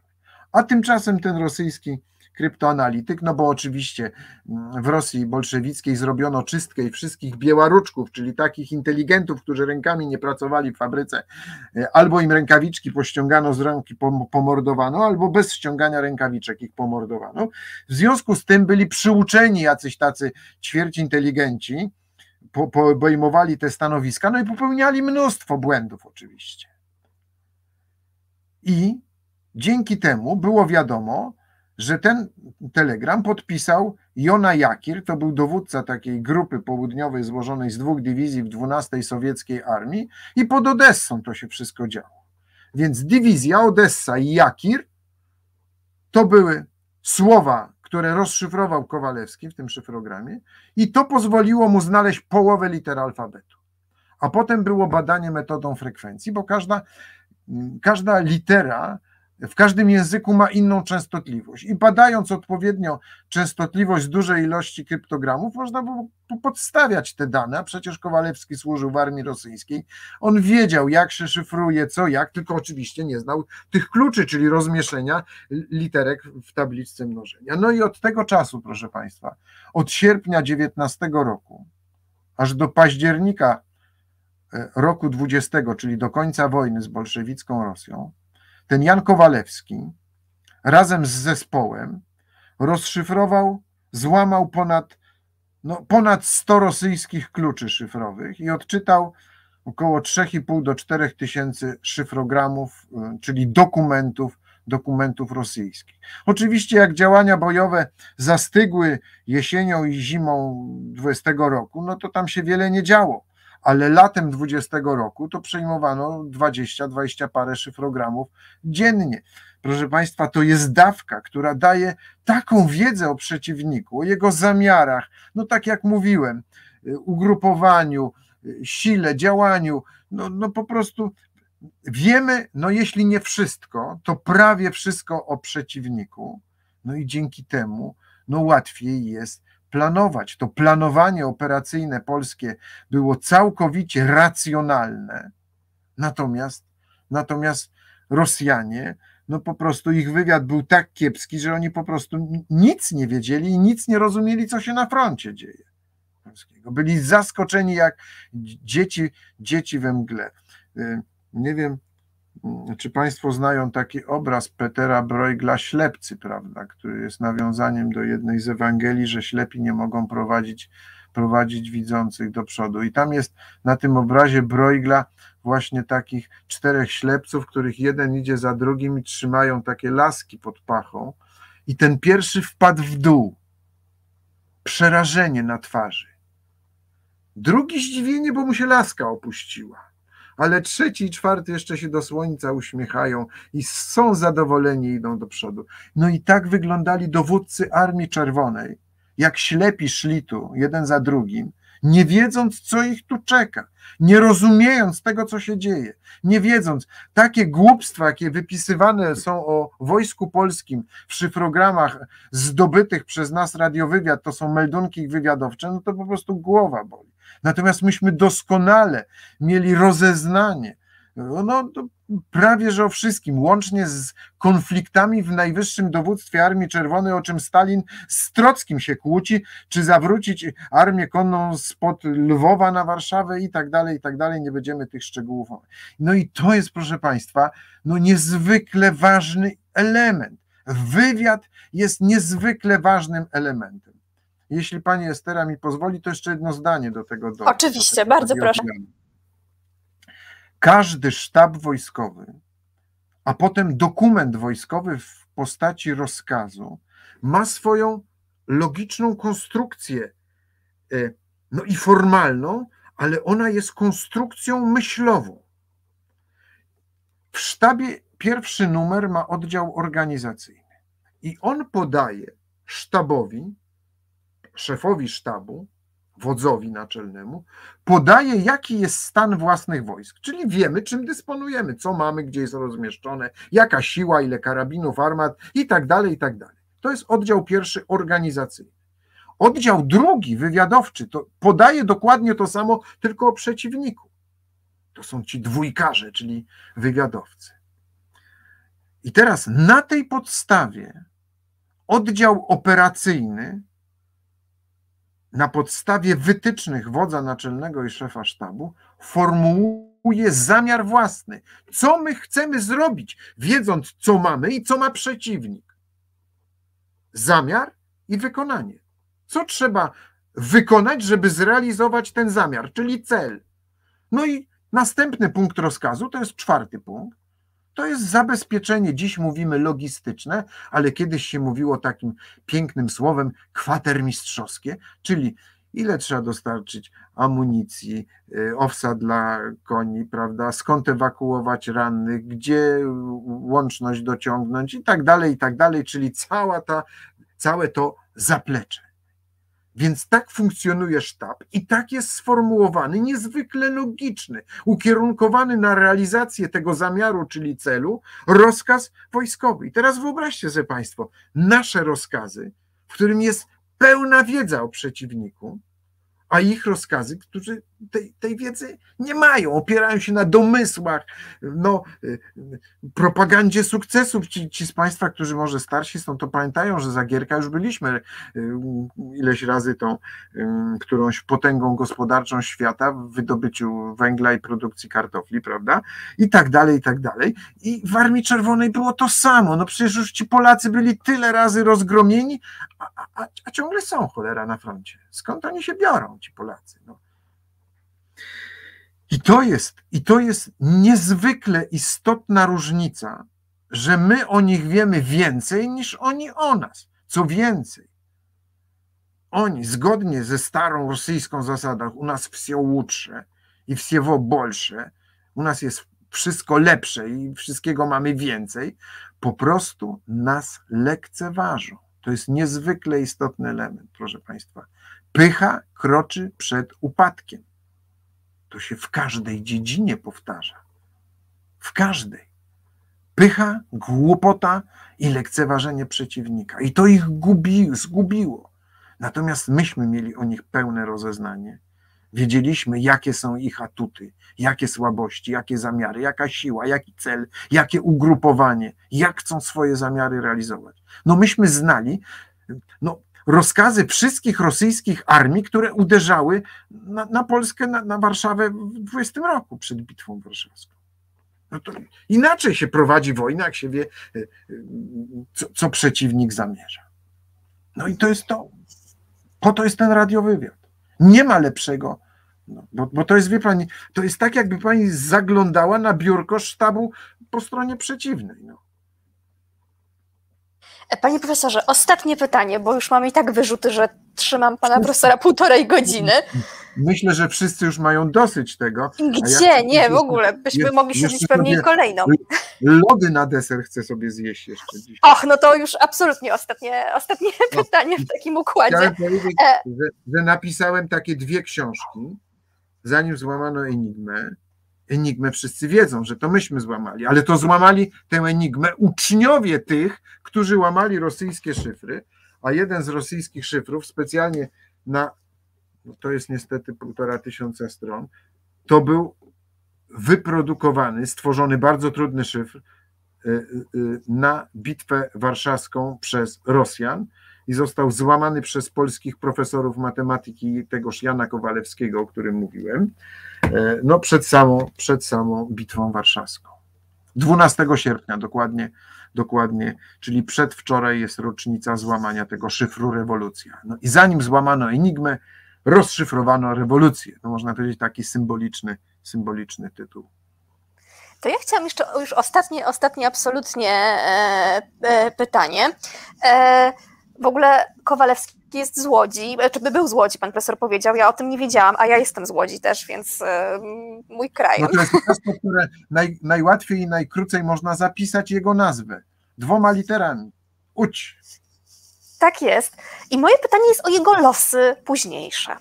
Proszę Państwa, to jest niesamowity człowiek, bo on kieruje długie lata biuro, biurem szyfrów on kończy studia we francuskiej École Supérieure de Guerre, czyli Wyższej Szkole Wojennej, uzyskuje tytuł pułkownika sztabu generalnego jako facet, tak jak Karol Bołdesku, najlepiej znał Rosję przedrewolucyjną, bo był szefem radiowywiadu państw centralnych na Rosję w czasie I wojny światowej, a potem był szefem polskiego, no to Jan Kowalewski, jako najlepszy znawca Armii Czerwonej Rosji Bolszewickiej, kontynuuje swoją karierę szpiega i jest atasze wojskowym w Moskwie, bo wszyscy atasze we wszystkich krajach mają za zadanie obserwować biały i szary wywiad prawda? Biały i szary wywiad. Biały to jest taki, że on e, rozmawia, rozmawia z rosyjskimi dowódcami, oficerami Armii Czerwonej, pije z nimi wódkę i usiłuje wyciągnąć rozmaite tajemnice, kolekcjonuje całą prasę wojskową e, rosyjską, czyta ją i, na tej podstawie no, pisze, to jest tak zwany biały wywiad, pisze o tym, no i szary wywiad to jest powiedzmy z półsłówków i, i z tego, czego nie powiedzieli, usiłuje również wyciągać wnioski. Ma fotograficzną pamięć, czyli na przykład określa dane taktyczne rosyjskich tankietek i czołgów, które się na Placu Czerwonym w czasie kolejnych defilat w rocznicę rewolucji podaje do Polski. I jest tak świetnym szpiegiem, że proszę Państwa, kilka zamachów tam na niego podejmowano w tejże Moskwie, no aż w końcu Stalin Mm, się zdenerwował i, i, potraktował go jako persona non grata i musiał opuścić ambasadę polską w Moskwie i opuścić y, ataszat, ale wyjechał niedaleko, bo został atasze wojskowym w Rumunii, a więc y, na terytorium państwa sąsiadującego z Rosją i tu już organizował y, biały wywiad, jeśli chodzi o, o, o Rumunię i szary, no ale organizował sieć wywiadowczą również na Rosję, ale miał ogromne inne osiągnięcia. Mianowicie wcześniej jeszcze, w połowie lat dwudziestych, pojechał do Japonii i z rządem japońskim i władzami japońskimi, y, no po prostu układał się. No to była cała skomplikowana gra polskiego wywiadu.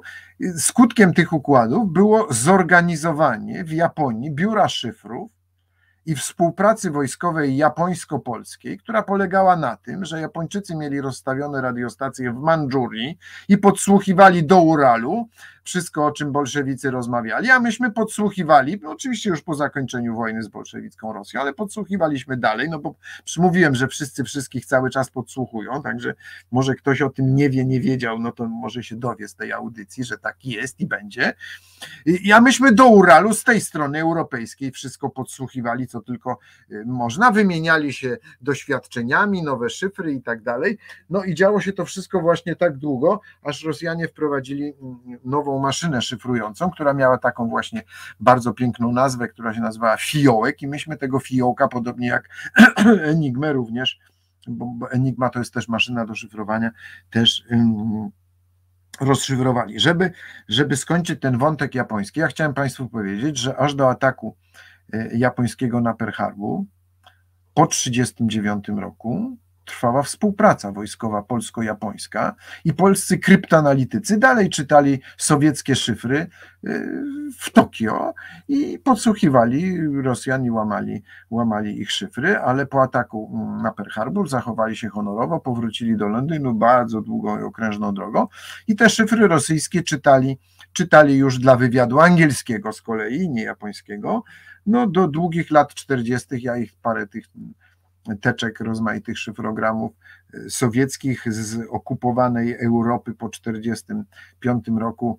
e, w tłumaczeniach mm, się naczytałem w Londynie, bo one są, to, to po prostu archiwa, nie, nie, wszystkie giną, nie wszystkie płoną, to wszystko jest, to czeka może jeszcze kiedyś na swojego historyka, nie wiem czy na mnie, ale to trzeba, to trzeba przebadać. No więc Jan Kowalewski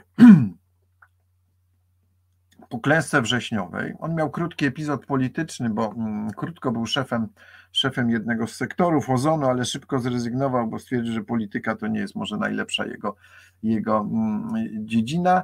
E, wrócił dalej na to stanowisko Atasze, był szefem takiej z Polski, mm, spółki Sepewe, która miała za zadanie eksportować polską broń i sprowadzać surowce strategiczne, które potrzebne są do produkcji z kolei broni w Polsce. No i mm, nie brał udziału w kampanii wrześniowej, ale potem działał w polskim wywiadzie w II wojnie światowej, był między innymi atasze wojskowym w Lizbonie. Jako, że miał mm, kolegów, przyjaciół, no bo koledzy szpiedzy są rozmaici, e, to otrzymał ogromnie ważne zadanie od polskiego i brytyjskiego wywiadu wojskowego przeciągnięcie na stronę Antanty władz Rumunii, Węgier i Włoch. I on to montował z Lizbony, z Portugalii, e, z Lisboy w zasadzie, bo to tak się powinno nazywać, montował tam e, e, taką koalicję na wypadek, jak alianci wylądują na Półwyspie Bałkańskim, no to te rządy natychmiast, no co się stało zresztą z włoskim, natychmiast przejdą na, na stronę aliantów. I proszę Państwa, był tak niebezpieczny dla Stalina, że po raz drugi Stalin zażądał, no a koledzy szpiedzy się znają, jacyś atasze sowieccy wojskowi, prawda? Wiedzieli, że on tam działa w tej Liszboe, prawda? I po raz drugi zażądał od Churchilla w czasie konferencji w Teheranie, żeby Jan Kowalewski został usunięty z Lizbony. No i on został rzeczywiście usunięty z Lizbony, wylądował w Londynie, kierował jakiś czas, jeszcze był jakiś czas na, na, na w Europie, tak zwaną akcją kontynentalną. To miała być próba y, rozwinięcia działalności podziemnej ruchu oporu w obozach jenieckich i koncentracyjnych na terenie okupowanych Niemiec, ale rząd Rzeczypospolitej zablokował tę akcję, twierdząc, że to może tylko przynieść niepotrzebne straty w ostatnich grupach polskiej inteligencji i kadry Wojska Polskiego, bo przecież po, po Święcimiach i Katyniach, no to przepraszam nas, tych, tych wykształconych zostało warstw no bardzo niewiele i dlatego rząd Rzeczypospolitej tutaj na wychodźstwie przystopował tę akcję. Jan Kowalewski po wojnie jako czołowy sowietolog, czyli facet, który zna najlepiej Rosję, wydawał czasopismo sowietologiczne w Londynie.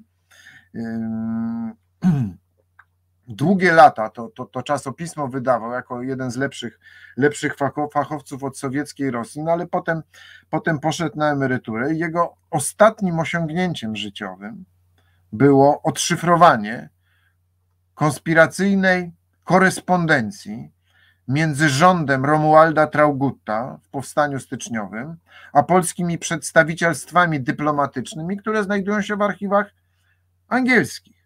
I to było jego ostatnie y, osiągnięcie kryptoanalityczne. To było zresztą oparte bardzo pięknie na, ta, na, na, na, na, na 12 księgach panu Tadeusza pana Tadeusza, ca, ca, cały ten klucz, bo to w każdym, w każdym, no każdy Polak miał w powstaniu w tym okresie drugiej połowie XIX wieku w domu egzemplarz pana Teusza. Numeracja ksiąg wierszy się nie zmieniała i to, był, to była podstawa, nie, nie, nie ta kratka tabliczka mnożenia, tylko po prostu wymieszane odpowiednio litery, prawda, z, tych, z tychże ksiąg pana Tadeusza i tam kolejne, kolejne numeracje liter, które tworzyły takie algorytmy, no, z którymi sobie carscy kryptoanalitycy nie potrafili poradzić. I to jest ostatnie osiągnięcie jego życiowe. Niestety zachorował na chorobę nowotworową i zmarł, i zmarł mm, w Anglii. No i taki jest, e, że tak powiem, życiorys Jana Kowalewskiego. Na ulicy Piotrkowskiej w Łodzi jest tablica, bo tam mieszkał ku jego czci. Jego ojciec był inżynierem. Wuj był bojowcem PPS-u, pracował jako inżynier w Zagłębiu Dąbrowskim. Natomiast na uniwersytecie, a, a, siedziba rektoratu uniwersytetu to jest dawna, dawne gimnazjum kupieckie, które Jan Kowalewski mm, kończył w Łodzi, jest tablica ku jego, ku jego czci. No tyle możemy powiedzieć o, o Janie Kowalewskim. Można powiedzieć, że to jest ten cichy bohater, o którym nie mogliśmy nic mówić i wiedzieć, no bo to była jedna z największych polskich tajemnic polskiego wywiadu, ponieważ myśmy tych Rosjan cały czas no, podsłuchiwali aż do, do lat drugiej połowy lat 40., aż, aż, aż po wojnie i, i to mogłoby komukolwiek, komukolwiek zaszkodzić. Panie profesorze, bardzo, bardzo, bardzo dziękuję za poświęcony czas i dziękuję również w imieniu słuchaczy i słuchaczek dawno, dawno czemu, e, również za przywrócenie pamięci Kowalewskiego i nie zatrzymuję już dłużej, bo lody czekają, deser. Czekają lody, tak, czekają pistacjowe i czekoladowe. Tak. Ojej, brzmi wspaniale. No, zapraszam panią, pani Estera, jak pani będzie gdzieś tu w pobliżu, to zapraszam na lody. Dobrze, będę, będę trzymać za, za słowo. Jeszcze raz dziękujemy za, za no niesamowitą po prostu opowieść i mam nadzieję, że jeszcze kiedyś pan profesor da się e, namówić na udział w programie, jeśli, bo... Jeśli mnie pani zaprosi, no to... Ale oczywiście, że tak, no tutaj słuchacze już się domagają, więc Ja, ja zapraszam wszystkich jutro do Muzeum Józefa Piłsudskiego, będziemy śpiewać piosenki żołnierskie. Tak jest, więc jeszcze raz panie profesorze dziękuję bardzo i dobrego wieczoru. Jeśli nie do zobaczenia. będzie mądrze, to będzie na pewno wesoło jutro, także zapraszam o. Państwa. dziękuję pięknie. Do zobaczenia. Dziękuję, do Drodzy Państwo, coś niesamowitego, prawda? Słuchać, w jaki sposób profesor e, Grzegorz e, Nowik opowiada o e, Janie Kowalewskim i nie tylko. Ja Państwu dziękuję za te entuzjastyczne reakcje na e, czacie są po prostu ogromnie budujące. Niech mi ktoś po dzisiejszym programie powie, że ludzie się nie interesują historią. Drodzy Państwo, siedzimy tutaj godzinę 47, a Państwo piszą na czacie, e, proszę więcej, wytrzymamy, więcej profesora. Także no, coś niesamowitego. Myślę, że dzisiaj wszyscy wychodzimy bardzo zbudowani i zainspirowani, więc dziękuję wspaniałemu gościowi. Dawno, dawno czemu nie byłoby E, bez wspaniałych rozmówców i rozmówczyń. Mnie to wciąż e, naprawdę e, przejmuje i wzrusza, że Państwo znajdują czas i poświęcają go, swoje wolne, wolne chwile na to, żeby się połączyć i spotkać. I dziękuję słuchaczom i słuchaczkom dawno, dawno czemu. Są Państwo po prostu wspaniali. I e, przypominam, że proszę dawać znać, tak? E, jeśli są jakieś tematy, które Państwa interesują, bo wiem i posypuję właśnie głowę popiołem, że zaniedbuję e, starożytników i mediewistów, e, a przecież i tam też jest kopalnia e, tematów, więc obiecuję się za jakiś czas poprawić. We, we wrześniu planuję sporo też jeszcze tematów z XX wieku, ale myślę o państwu i zwłaszcza, że ja na przykład bardzo lubię starożytność, więc nie wiem skąd to, skąd to zaniedbanie, ale postaram, postaram się e, podciągnąć. Jeszcze raz dziękuję za e, dzisiaj. E, niesamowity program, Państwo są po prostu przecudowni, prze, przewspaniali, więc za kilka dni też ta rozmowa do odsłuchania jako podcast, wszystkie wcześniejsze odcinki także dostępne w tej formie. I proszę zostać z Resetem Obywatelskim, bo ramówka jest pełna, więc więc e, bardzo dużo, znaczy ci Państwo, którzy chcą jeszcze z nami spędzić e, resztę wieczoru, nie przepraszam, czytam komentarze na czacie, dlatego tak bardzo się uśmiecham i nie mogę skończyć zdania, bo jestem po prostu przeszczęśliwa po dzisiejszym e, po dzisiejszym odcinku. Więc proszę zostać z Resetem Obywatelskim, jeśli nie mają Państwo jeszcze, jeszcze dość i do zobaczenia, drodzy Państwo. Proszę jutro pomyśleć o Jonie, e, Janie Kowalewskim, którego z niepamięci wydobył profesor e, Grzegorz e, Nowik. Więc do zobaczenia za tydzień w kolejnym odcinku Dawno, Dawno Czemu. I drodzy Państwo, wszystkiego dobrego, dużo zdrowia. Do zobaczenia.